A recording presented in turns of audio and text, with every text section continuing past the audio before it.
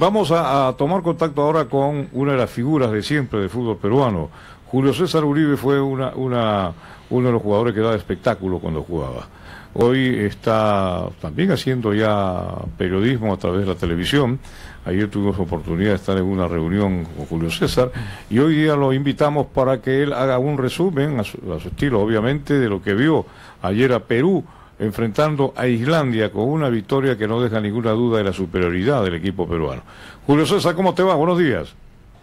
Muy buenos días, Raúl. Saludos para todos los clientes, para todos los compañeros de labores. Y contento, al igual que todo el Perú, porque el equipo transmite confianza. Y ojalá que esta confianza nos ayude a sostener la sonrisa que en este momento nos pertenece. Ahora, dentro de tu análisis, eh, eh, ahora como vamos a como técnico de fútbol, este Julio César, eh, ¿cuál fue la mayor virtud de Perú en ese partido que le ganó a Islandia? Seguir comportándose como equipo, donde cada quien hace su trabajo o cumple con su función como corresponde, y en la suma de estos cumplimientos observamos un colectivo que sabe lo que quiere que controla la adversario de sus fortalezas y que aprovecha sus debilidades. En este sentido siempre ha sido, va a ser y Pero de cara al Mundial vemos con tranquilidad lo que mientras más cerca estemos, sostengamos la idea, será optimismo y ese optimismo ojalá que se perpetúe en, muy buenos resultados de poder acceder a la otra etapa y así seguir avanzando. Ahora, eh, Julio César, ayer apostó Gareca, no hizo muchas variantes indudablemente porque todo el mundo esperaba que a lo mejor en el arco iba a estar Carballo, eh, iba a hacer algunos cambios, iba a modificar con relación al partido que se jugó ante Croacia pero a mí me pareció particularmente que es correcto lo que hace Gareca, ¿no? Mantener el equipo, por lo menos el, porcentaje mayor de lo que se supone va a ser el equipo titular que confronte en Rusia. ¿A ti qué te pareció esto, esto Julio César? Coincido contigo, lo que estamos observando. Estás afiatando, siendo un equipo que ya tiene la idea clara, más allá de las capacidades del adversario que se toque enfrentar, estás haciendo prevalecer las tuyas y jugando, tocando y moviéndote, estructurando bien, triangulando bien, manejando los tiempos, haciendo buenos cambios de frente. Eh, la interpretación del juego fue diferente al de Croacia, donde nos tocó defender más y contraatacar. Ahora nos tocó atacar más y cuidar el tema del contraataque, que ellos no tenían opción de contraataque. Ellos pasaban de la defensa a través de un pelotazo y eso los técnicos nos damos cuenta. Así que eh, Perú estuvo casi siempre en intención ofensiva y ya tiene la posibilidad de tomar la decisión correcta en atacar o contraatacar. O sea, primero atacar y, después defender, o primero defender y después atacar. No hay sino esas dos intenciones y, todo lo está realizando y, midiendo bastante bien Ricardo para el 16 de junio, que es el partido donde empieza a contar lo que tiene un valor importante contra Dinamarca tratar de ganar el juego. Eh, Julio César, buenos días. Eh, te saluda Walter Eisner. Eh, siguiendo tu trayectoria, Julio César, este, me acordaba de algo que siempre comentabas de lo, lo que ocurrió, la injusticia que se te hizo en el 82. ¿Tú crees de que hoy día se ve que hay un grupo humano unido eh, si es que se enfoca en, la experiencia de lo que ocurrió anteriormente, podría repetirse si se trae a una persona que a, un jugador eh, y se trata de incrustar al grupo? Bueno, no es lo que yo es lo que estamos viendo.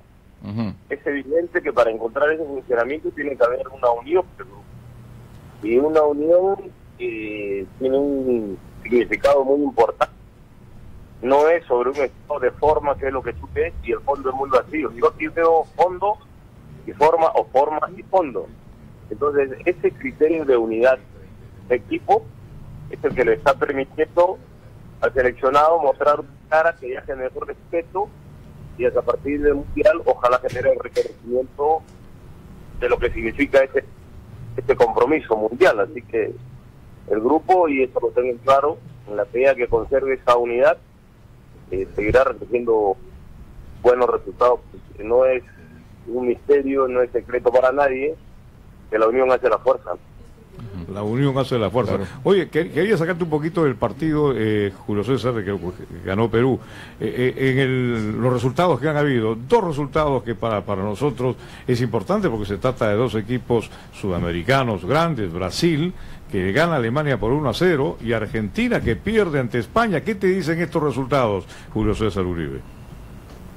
A ver, que Brasil en su forma se toma una revancha de aquel 7-1 que jamás podrán olvidar y que por ahí se encuentran en el Mundial y es difícil que Alemania le meta el gol por ese orden, por ese conocimiento, ese buen manejo de estructura, ese profesionalismo, mentalidad, fuerza física, eh, concepto, etcétera, etcétera, ¿no? Pero Brasil le ganó y te ganó bien. Entonces, eh, si eres campeón y yo te gano hoy, tengo derecho a pretender ser campeón. Y así tiene argumento para hacerlo. Lo que sí, el mundo y más que los, los hermanos argentinos deben mirar con profunda preocupación su realidad, porque no estás hablando de un equipo tipo, estás hablando de los que históricamente son considerados equipos, estás hablando de Argentina. Y ha salido ser campeón mundial, campeón de Copa América, riquísimo y su historial deportivo. Entonces, la larga ya. Y sobre todo, cuando me dice, cuando tú escuchas las declaraciones de que 60 minutos no alcanzaron, a veces 89 minutos no alcanzan. Imagínate si alcanza 60.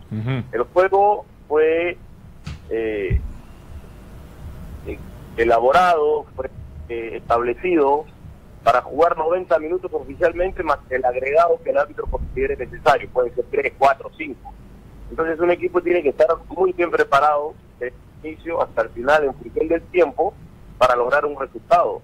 Y cuando tú recibes seis goles siendo histórico, ya la alarma suena, ¿no?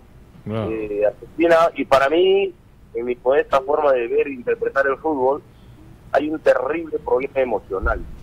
Y lo emocional pasa por esta empatía que se genera entre el grupo y el que le toca dirigir este grupo.